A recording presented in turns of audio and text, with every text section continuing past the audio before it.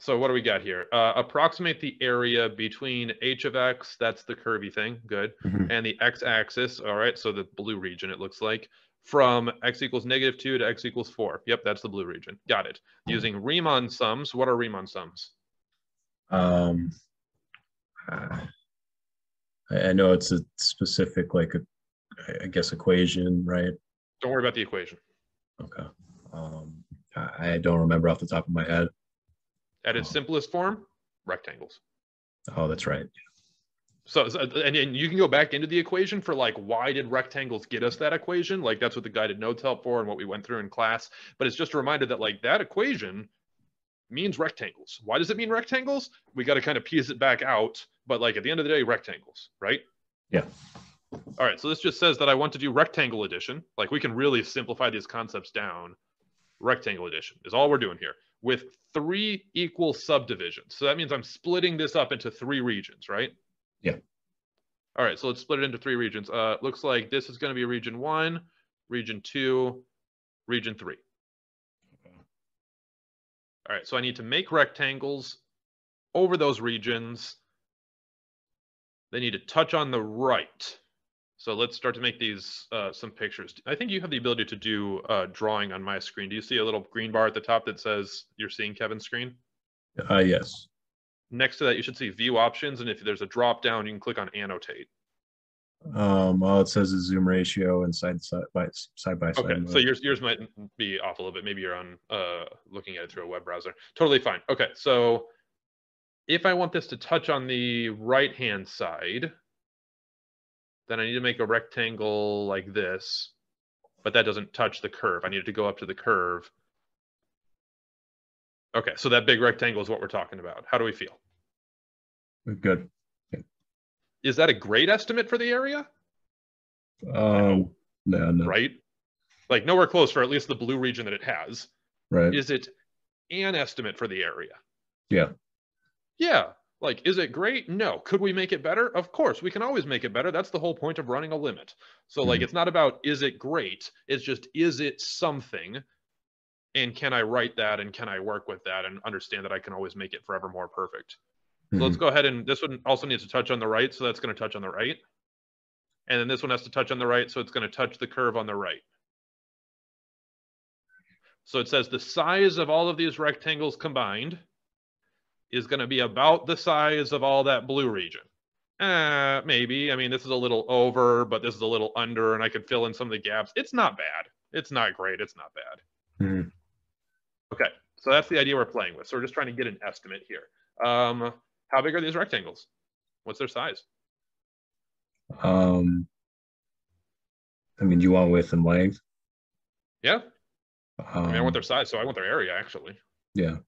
Um, so I guess the first one's two by four, I think. Yeah. Good. So rectangle one size is a two by four, which gets us Eight. good. Rectangle Mm. two, It's also, or it's two by six. And then that would two be by 12. six, 12, And then the other one is two by four. So eight again. eight. All of them together gets us Um, uh, 28. all right. So our area is approximately 28 square units. Yeah. There it is. Okay. right? Oh. Like, is it great? No. We could make the rectangle skinnier. That would be better because then this Yeah. one would have touched on the right side here. This one would have touched on the right side there. This one would have touched on the right side there. Like, that's already looking much, much better, Mhm. right? But it's just a matter of like, do we even know how to begin these explorations and write them as stories? Then we can run it. So at its Mhm. core, this is it. Like that's that's what we're doing. Sometimes we'll write that less with numbers and more with expression because Mhm. with an expression, I can run n as many big as I want.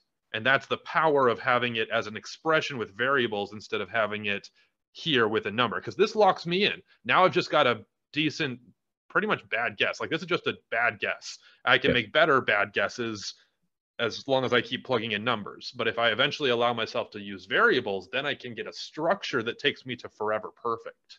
That's better. Yeah. Okay. But there you go. That's it.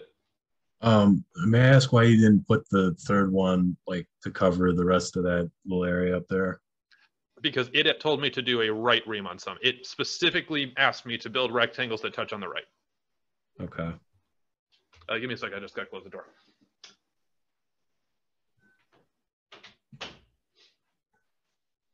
So you are, so you are completely right. That right rectangle, like that rightmost rectangle, is a horrible rectangle to approximate the area. hmm But all of this is being motivated by the fact that like it doesn't matter. It doesn't matter where I place the rectangles because I'm not trying to make the rectangles perfect. I'm just trying Yeah. to put the rectangles down and then I'm trying to run it towards more rectangles. Okay. More rectangles is how I make it perfect, not by making my bad guess slightly better. Yeah. Okay. Um, if you want, uh, why is my, oh, that's why it's being weird. Give me one moment just to kind of uh, show something that'll also help capture this. Yeah. This is a beautiful animation. Talking about Riemann sums, so let's take out the trig because we don't need the trig. That just overly complicates things. All right, so let's just imagine that we wanted to fill in this space right here. We wanted to get an approximation between one and five and a half. Hmm. This is a, an, an estimate. It's a bad estimate. It's obviously too small because it's everything's underneath. Could I make it better? Sure. I could shift where I build these things. Like I could make it so I, my rectangles cover a little bit over and under. I can make them so that they're all over. Uh, but in truth, it's trapped. Like there's a there's a highest it can go, and a lowest that I can go with any of these approximations. And my truth is somewhere between that. How do I get the truth? We don't try to make each rectangle better. We just run the number of rectangles up. And Hmm. that causes all of my overestimates to, to become better. It causes all my underestimates to become better. And it squeezes the truth out of that confinement. So it doesn't matter how good our initial guess is. It doesn't matter what our setup is. It doesn't matter at all. It's all going to get squeezed to perfection. Okay. So does that help out a little bit? A little bit, yeah.